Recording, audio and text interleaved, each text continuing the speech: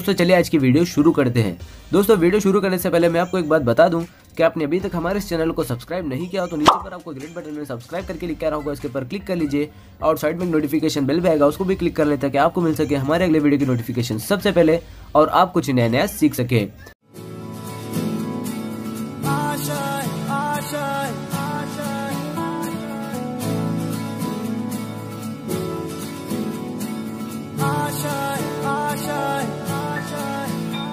कुछ पाने की हो आस आस, कोई अरमा हो जो खास खास आशाएँ हर कोशिश में हो बार बार, करे दरियाओं को आर पार आशाएँ तूफानों को चीर के, मंजिलों को छीन ले आशाएँ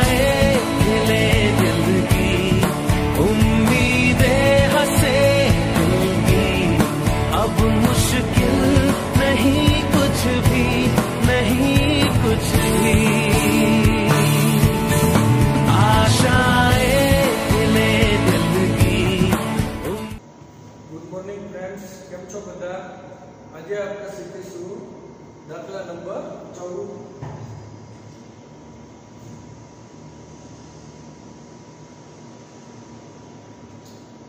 કહે છે કે બે પાસા ફેંકવાથી મળતી સંખ્યાઓ.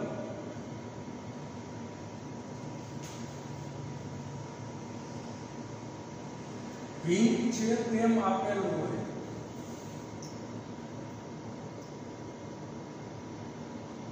તો બે પાસાઓ પરની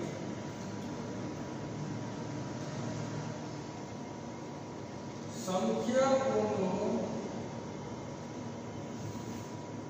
સરવાળો ચાર હોય તે ઘટનાની સંભાવના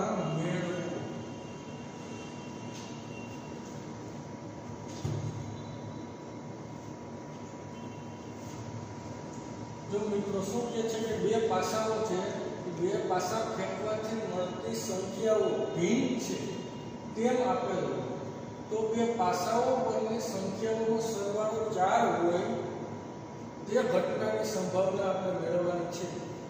તો આપણે એક વસ્તુ વિશે વિચારો, બે પાસાઓ ફેંકવાથી મળતો નિર્દેશાવકાશ કયો હોય? તો કે છત્રીસ ઘટકો હોય. બે પાસાઓ ફેંકવાથી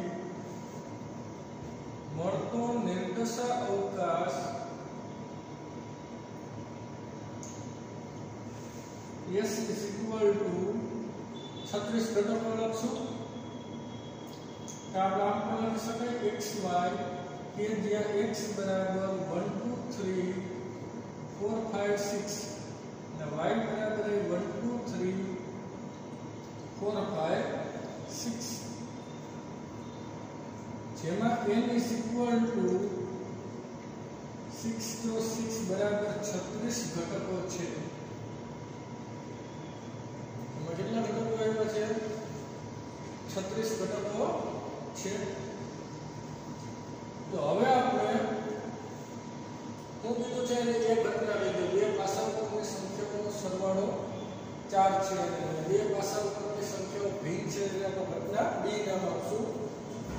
તો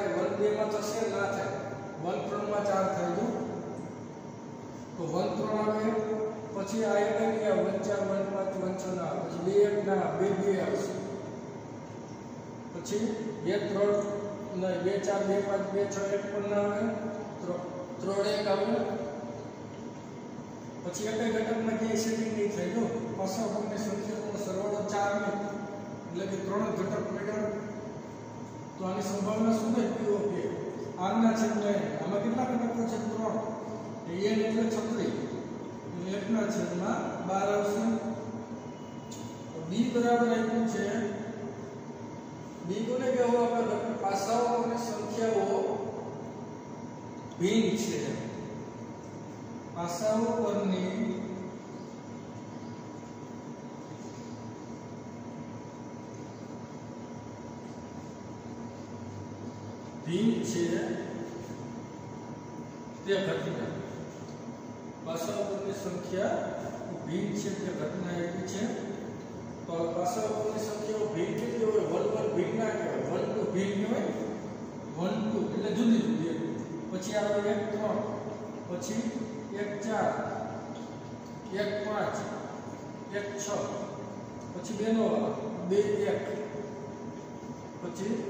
બે બે ના બે ત્રણ. પછી બે ચાર, બે પાંચ, બે છ. પછી આવશે ત્રણ નવ ત્રણ એક, ત્રણ બે, ત્રણ ત્રણ નહીં આવે, ત્રણ ચાર, ત્રણ પાંચ, ત્રણ છ. આવે પછી ચાર નો પછી આવશે ચાર એક, ચાર બે ચાર ત્રણ. ચાર ચાર ના આવે, ચાર પાંચ. અને ચાર છ. પછી પાંચ નો વર્ગ, પાંચ એક, પાંચ બે, પાંચ ત્રણ, પાંચ ચાર, પાંચ પાંચ નહીં આવે, પાંચ છ. છ નો વર્ગ, છ એક, છ બે, છ ત્રણ, છ ચાર, છ પાંચ, અને પછી છ છ નહીં આવે. તો હવે આમાં કેટલા ઘટકો આવ્યો તો એની સંભાવના શું થાય પી ઓ બી તો કે આર ના છેદમાં n આર એટલે કેટલો છે ગણી લો જી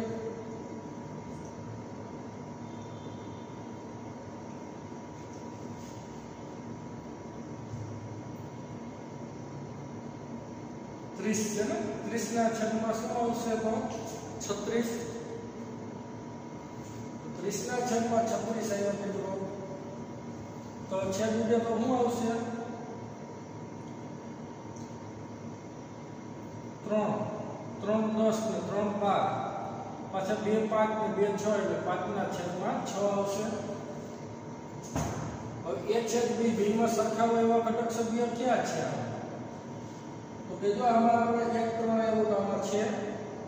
પછી બે બે નહીં હોય, ત્રણ એક છે આમ. તો આની સંભાવના શું થાય? બી ઓ બે છેદ બી. એટલે બે ના છેદમાં છત્રીસ. એકના છેદમાં અઢાર આવશે. તો હવે આપણે શું કરશું પછી? તો કે હવે આપણે માહિતી શું છે? કે બે પાસાઓ પરની સંખ્યાઓનો સરવાળો. બે પાસાઓ પર મળતી સંખ્યાઓ. સંખ્યાઓ ભિન્ન હોય ભિન્ન છે તેમ આપેલું હોય એટલે કે આની સાપેક્ષ તેમ આપેલું હોય તો બે પાસાઓ પરની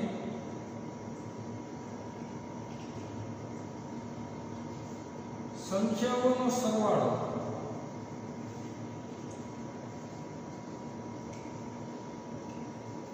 ચાર હોય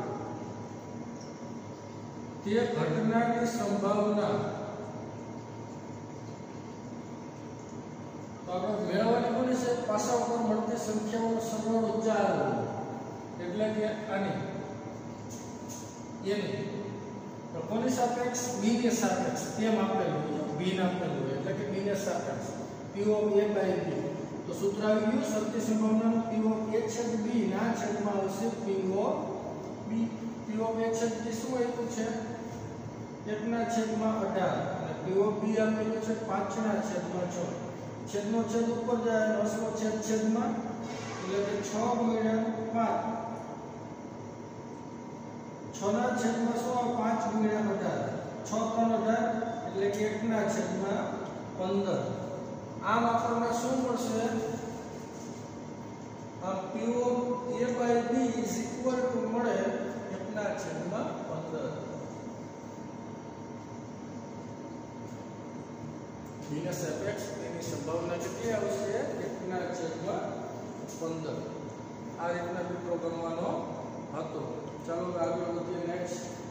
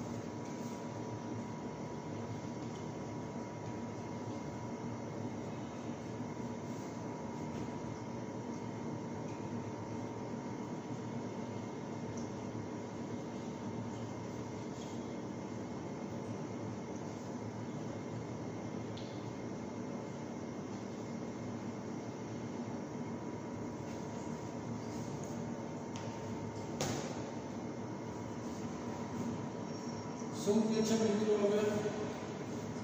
પાસાને ફેંકવાના પ્રયોગનો વિચાર કરો. આપણે પાસાને ફેંકવાનો છે. પાસા પર મળતો પૂર્ણાંક પાસા પર એક થી છ પૂર્ણાંક મળે ને? એક, બે, ત્રણ, ચાર, પાંચ, છ.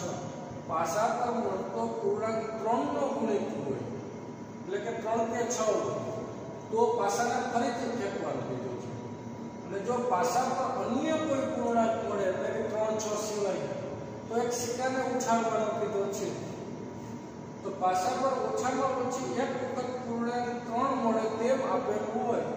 તો સિક્કા પર કાંટો મળે તે ઘટનાની શક્તિ સંભાવના મેળવવાની છે.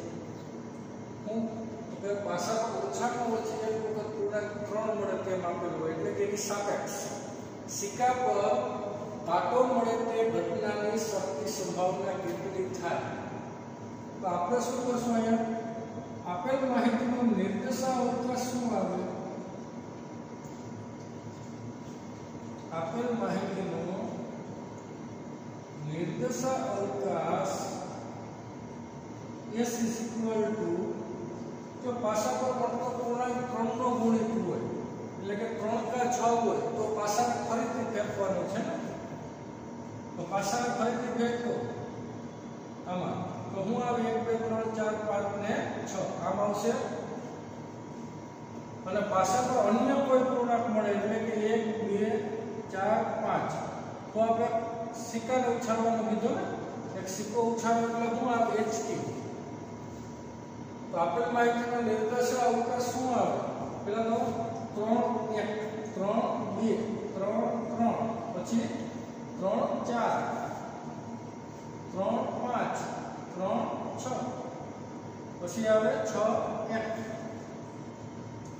છ બે, છ ત્રણ, છ ચાર, છ પાંચ, છ છ. પછી એના સિવાયના પૂર્ણાંકો હોય તો સિક્કાને ઉછાળો એટલે one H, one T. Two H, two T. પછી four H, four T. પછી આ ફાઈવ એચ ફાઈવ ટી આમ આવશે તો જેમાં n બરાબર શું આવે કેટલા ઘટકો આવે જો કે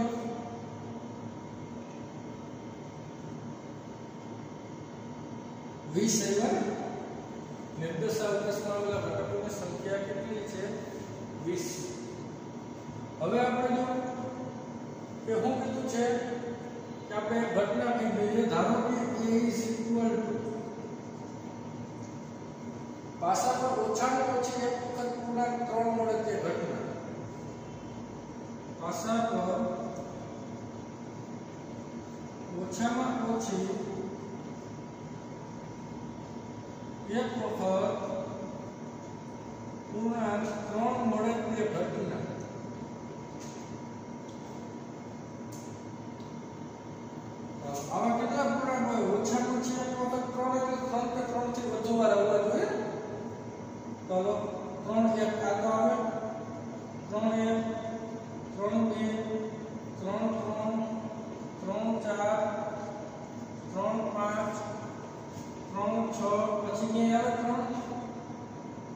પછી છ ત્રણ પછી ભાષા પર ઓછામાં ઓછી એક વખત પૂર્ણાંક ત્રણ મળે તે ઘટના આપણે એના ઘટકો લખી નાખ્યા તો આમાં કેટલા ઘટકો આવ્યા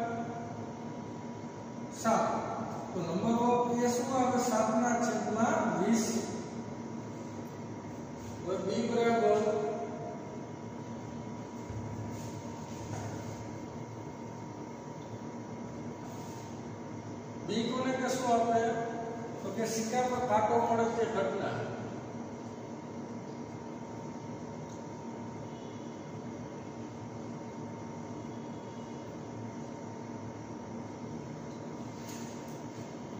ચાલો સિક્કા પર કાંટો મળે તે ઘટનાનો સિક્કા પર કાંટો ક્યાં છે જો જે 1t પછી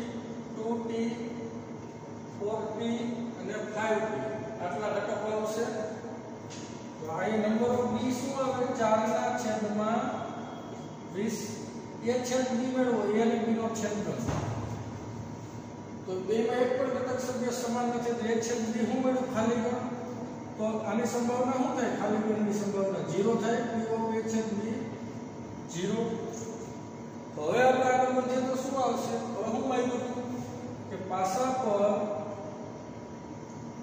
ઓછામાં ઓછી એક વખત પૂર્ણાંક ત્રણ મળે તેમ આપેલ હોય તો સિક્કા પર આટો મળે તે ઘટનાની સંભાવના. એટલે કે શું સિક્કા પર કાપો મળે એને આપણે ઘટના બી કીધી હતી ને? બી ની. પણ કોની સાપેક્ષ એની પાછા પર ઓછા પછી એક વખત પૂર્ણાંક ત્રણ મળે એટલે કે એની સાપેક્ષ આનું સૂત્ર શું થાય પીઓ બી બાય એનું પીઓ એ છેદ બી ના છેદમાં પીઓ એ તો પીઓ એ છેદ બી ની કિંમત શું થશે હવે જીરો અને પીઓ બી આપી નંબર ઓફ બી ને પીઓ બી બી ની સંભાવના છે નંબર ઓફ બી ની જગ્યાએ શું બતાવે કે પીઓ તો 0 ના છેદમાં શું આવશે 7 ના છેદમાં 20 0 ના છેદમાં આવ્યું એટલે 0 થાય તો આમ આપણને સંભાવના શું મળી આમ માગેલ સંભાવના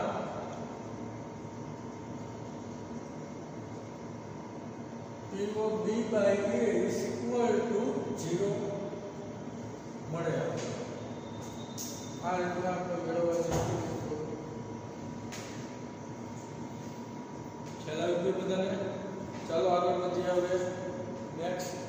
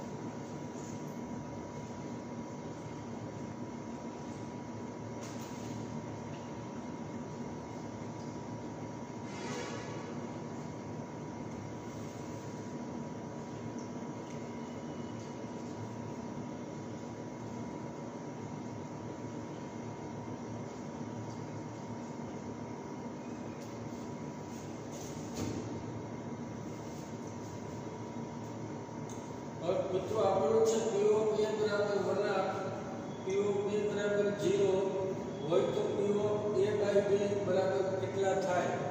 જીરો વળાંક અવ્યાખ્યિત કે વન. એવું આપેલું છે આપણને? તો પીઓ ની કિંમત આપી છે વળાંક પીઓ ની આપી છે જીરો. બીની સંભાવના જીરો છે. એનો મતલબ મિત્રો કે B માં એક પણ ઘટક ન હોય તો એની સંભાવના 0 છે ને તો B નો છેદગણિત કેવો થાય 0 B ખાલી કોણ હોવાથી આપણે a છેદ b બરાબર એ શું મળતું હોય ખાલી કોણ તો P of a છેદ b ની સંભાવના એ શું થશે મિત્રો 0 તો હવે આપણે મેળવીએ P of a by b તો P of a by b બરાબર સૂત્ર આવી ગયું P of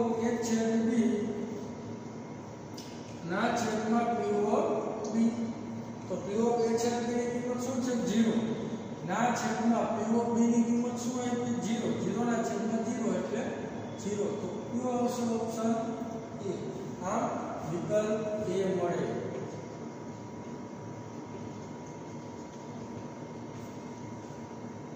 આ રીતના આપણે સંભાવના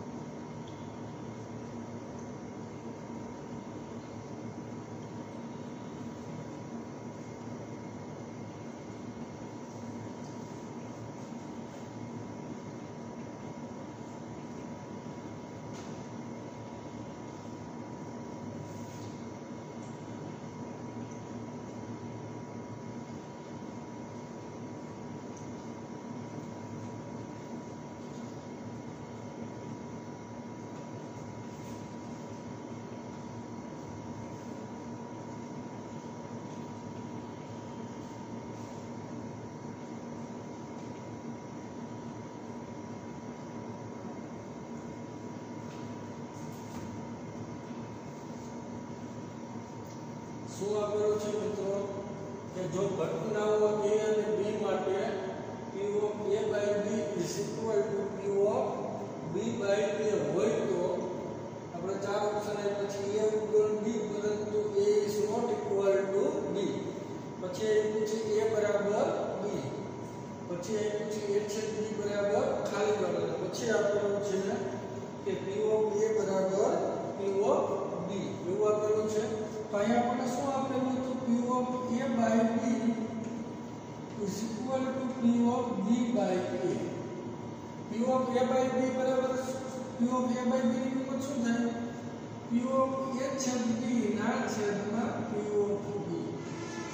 પીઓ પી બાય એ શું થશે પીઓ એ છેદ બી ના છેદમાં પીઓ એ આ બંને તો શું આવશે 1 upon પીઓ બી is equal to 1 upon પીઓ એ ચોકડી ગુણાકાર કરશું તો પીઓ એ is equal to પીઓ બી આ આપણે આ સ્વ મળે એટલે કે આમ વિકલ્પ શું મળે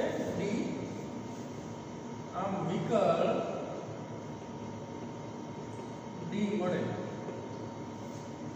આ રીતના આપણે વિકલ્પ d આ સ્વમાં મળશે ચાલો આગળ વધીએ નેક્સ્ટ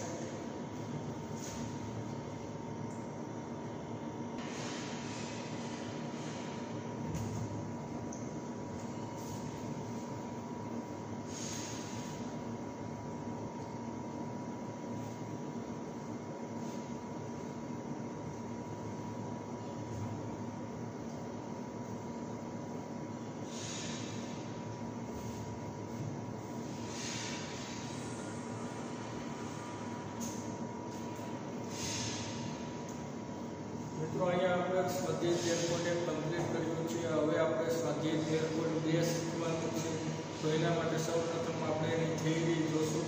તો થિયરી શું કહેવા માગે છે કે બે ઘટનાઓ માટે સંભાવનાના ગુણાકારનો નિયમ શું છે? ત્રણ ઘટનાઓ માટે સંભાવનાના ગુણાકારનો નિયમ શું છે? તે વસ્તુ આપણે શીખવાનું છે. બે ઘટનાઓ માટે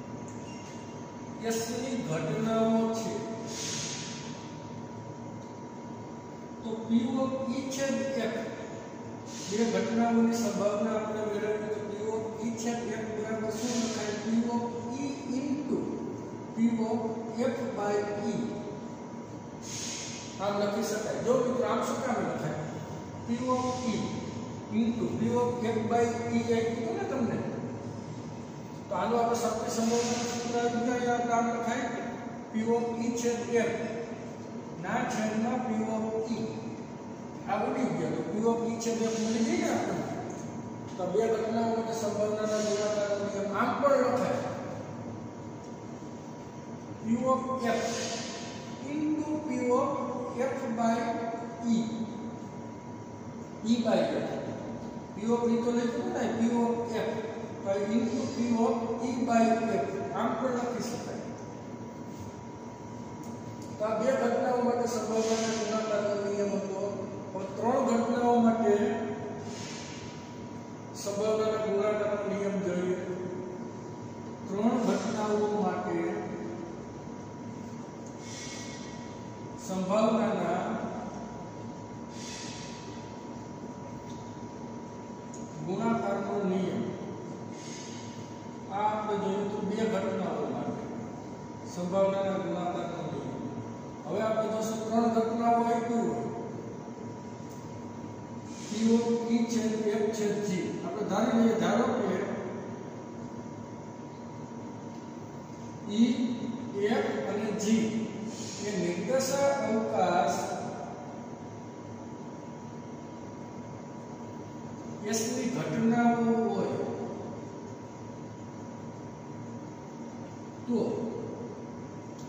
P of E છેદ F છેદ G is equal to શું થાય તો આ બરાબર આ સૂત્ર લખી શકાય પેલા E છે ને તો E ની સંભાવના પછી F આવે તો F ની આ E ને સાપેક્ષ આગળ જે ગઈ હોય ને ઘટના એને સાપેક્ષ ની સંભાવના એટલે P of F by into P of હવે G ની સંભાવના પણ આગલી બે ની સાપેક્ષ એટલે કે E છેદ F ની સાપેક્ષ તો આ ત્રણ ઘટનાઓ માટે સંભાવનાના ગુણાકારનો નિયમ બને P of E છેદ F છેદ G બરાબર શું લખાય તો કે પેલા E ની સંભાવના પછી F છે તો F ની સંભાવના E ને સાપેક્ષ એટલે P of F by E પછી આ G ની સંભાવના તો એટલે આ બે ની સાપેક્ષ એટલે કે E છેદ F જોય છે P of G by A છે F તો આ હતું બે ઘટનાઓ માટે સંભાવનાના ગુણાકારનો નિયમ અને આ જે છે એ શું છે?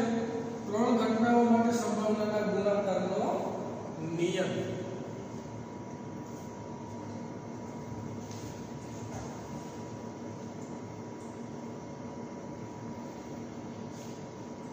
ત્યારબાદ આપણે જોશું, એક વસ્તુ ધ્યાન રાખવાનું, આદિ બે સૂત્ર છે ને એને શરતી સંભાવનાના સૂત્રો કહેવાય. આપેલ બંને બી સૂત્ર છે એને કેના સૂત્ર કહેશું? શરતી સંભાવનાના સૂત્રો.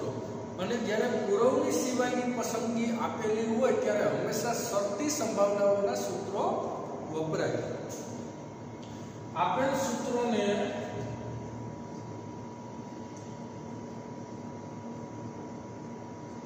શરતી સંભાવનાઓના સૂત્ર કહે છે.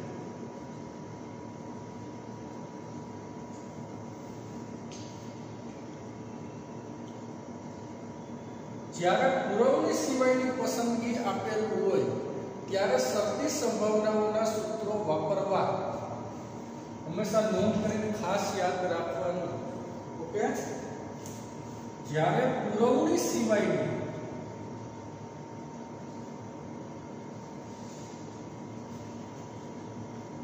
પસંદગી આપેલું હોય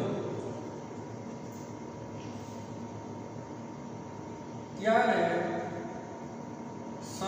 સંભાવનાઓના સૂત્રો વાપરવા. સંભાવનાઓના સૂત્રોનો ઉપયોગ કરવો.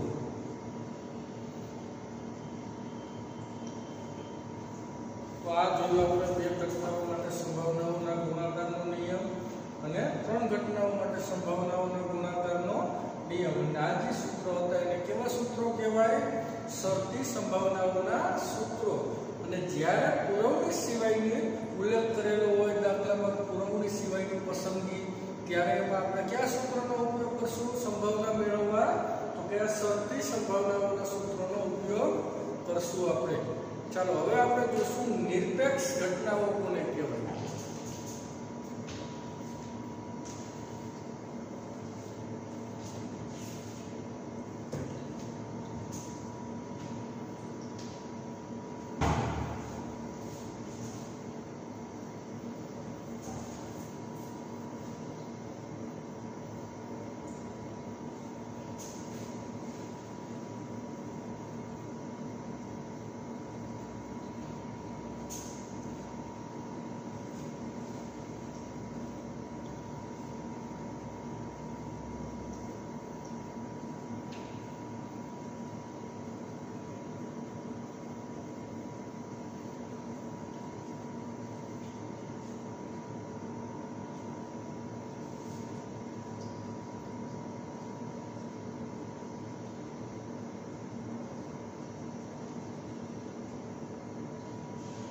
કે જ્યારે ઘટના ઈ ના ધારો કે બે ઘટનાઓ આપેલી છે તમને ઈ અને એફ તો કે જ્યારે ઘટનાઓ ઈ ઈના ઉદ્ભવ થવા માટે કે ઉદ્ભવ ન થવા માટેની સંભાવના, એ ઘટના એકના ઉદ્ભવ થવા માટે કે ઉદ્ભવ ન થવા માટેની સંભાવના પર આધારિત ન હોય, તો ઘટનાઓ ઈ અને એફને નિરપેક્ષ ઘટનાઓ કહેવાય. નિરપેક્ષ ઘટનાઓ એટલે બે ઘટનાઓ એકબીજા કોઈ સંગતતા જ ના હોય, બે જુદી જુદી રીતના બનતી હોય.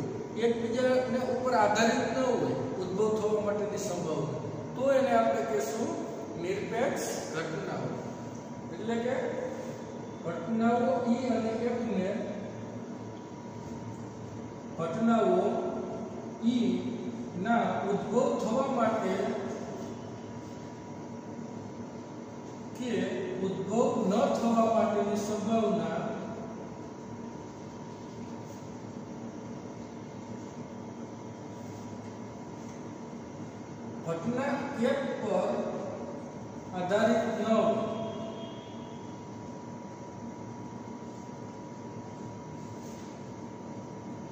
તો તેને નિરપેક્ષ ઘટનાઓ કહે છે એટલે કે શું કહેવા માંગે કે P of E by F is equal to P of E થાય આ બે સંભાવના એક જ હોય મિત્રો કે F ને સાપેક્ષ E ની સંભાવના મેળવો કે નકર E ની સંભાવના બેના અંશો સમાન આવે તો કહી શકાય કે E અને F બે નિરપેક્ષ ઘટનાઓ છે એકબીજા ઉપર આધારિત છે જ નહીં ખા- ખાલી E ની સંભાવના મેળવો કે F ને સાપેક્ષ E ની સંભાવના મેળવો તો બંને જવાબ સરખા જ આવતા બરોબર તો એને આપણે શું કહેવાય નિરપેક્ષ ઘટનાઓ E અને F આમ નહીં હોય મિત્રો P of F by E is equal to તો શું થાય P of F કે E સાપેક્ષ F સંભાવના મેળવીએ કે F સંભાવના મેળવીએ બે જો સમાન આવતી હોય, તો કહી શકાય કે ઈ અને F બે કેવી ઘટનાઓ છે? નિરપેક્ષ ઘટનાઓ છે. બરાબર? તો નિરપેક્ષ ઘટનાઓ માટેનું એક સૂત્ર છે. નિરપેક્ષ ઘટનાઓના સૂત્રો કે P of H at B સત્ય સંભાવનાઓમાં મિત્રો આપણે શું લીધું હતું P of H at B બરાબર અહીં H at B માં નથી લખાતો આમાં લખાવો E છે એકમાં ગમે એમાં લખી શકો P of E છે તો આપણે સત્ય સંભાવનાઓમાં શું થયું હતું મિત્રો P of E છે બરાબર તો કે P of E E ની સંભાવના ઇન્ટુ હવે F ની આ E ને સાપેક્ષ એટલે P of F by E એવું થયું હતું ને જ્યારે નિરપેક્ષ ઘટનાઓમાં શું થાય P of E છે ને તો P of E into P of F E ની સંભાવના ઇન્ટુ F ની સંભાવના આમ થશે આ બે ઘટનાઓ માટે ત્રણ ઘટનાઓ માટે બીજું વસ્તુ શું આવશે P of E છે F છે G તો આપણે શું લખાય P of E into P of F into P of G તો આ બનશે સૂત્ર ત્રણ ઘટનાઓ માટે તો આ જે બે સૂત્રો છે એ કેવા સૂત્રો છે તો કે નિરપેક્ષ ઘટનાઓના સૂત્રો આ છે ખ્યાલ આવી ગયો તો ચાલો આગળ વધીએ હવે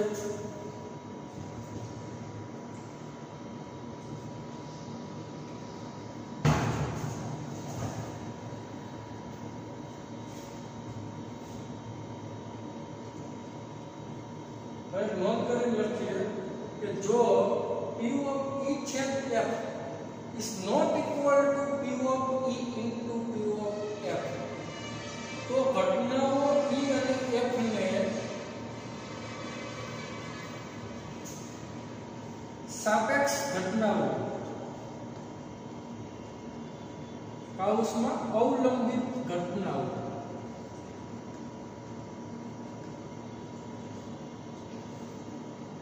કહે છે તો આને નિરપેક્ષ ઘટનાઓ નહીં કહેવાની આને કેવી ઘટનાઓ કહેવાની સાપેક્ષ ઘટનાઓ અથવા તો અવલંબી ઘટનાઓ આ બેની કિંમત સરખી ન મળતી હોય તો બરાબર હવે જો પરસ્પર નિરપેક્ષ ઘટનાઓ કોને કહેવાય ત્રણ ઘટનાઓમાં પરસ્પર નિરપેક્ષ ઘટનાઓ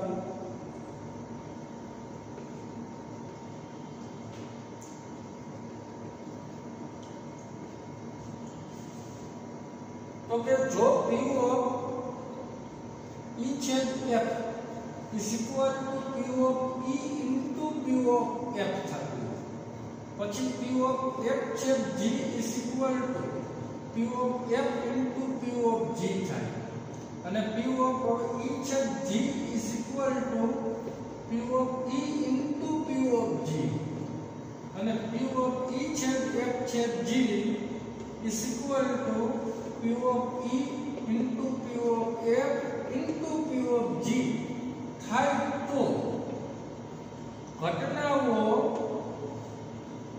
ઈ એફ અને જી ને પરસ્પર નિરપેક્ષ ઘટનાઓ કહે છે.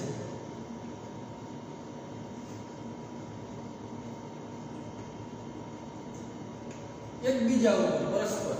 ત્રણ ઘટનાઓ મિત્રો તમને આપેલી હોય ઈ એફ અને જી ની સંભાવના. અને તમે આ બધું મેળવો પી છે તેની કિંમત આને સમાન થાય. પીઓ એફ છે જી ની કિંમત આને સમાન થાય પીઓ ઈ છે જી ની કિંમત આને સમાન થાય કે પીઓ ઈ છે એફ છે જી ની કિંમત આને સમાન થાય તો કહી શકાય કે ઘટનાઓ ઈ એફ અને જી એ પરસ્પર નિરપેક્ષ ઘટનાઓ છે જે વધારાનો શબ્દ આવી ગયો પરસ્પર નિરપેક્ષ તો આને આપણે પરસ્પર નિરપેક્ષ ઘટનાઓ કહેવાય ખ્યાલ આવી ગયો મિત્રો હવે નોંધ કરીને પાછી લખીએ કે જો ઈ અને એફ નિરપેક્ષ ઘટનાઓ હોય તો આ કઈ ઘટનાઓ કેવી આવી કે તમને નિરપેક્ષ આવી તો એમાં ઈ અને એફ ડેશ પણ નિરપેક્ષ થાય ઈ અને એફ ની પૂરક ઘટના હોય ને કેવી થાય નિરપેક્ષ ઘટનાઓ થાય આ બે ને ઉપર આધારિત ન થાય. પછી ઈ ડેશ અને એફ નિરપેક્ષ ઘટનાઓ થાય. આઈ કેવી થાય? ઈનો આપણે પૂરક લઈને એફ એમને. તો આઈ નિરપેક્ષ ઘટનાઓ અને ત્રીજી ઈ ડેશ અને એફ ડેશ નિરપેક્ષ ઘટનાઓ છે આ બે નિરપેક્ષ થાય.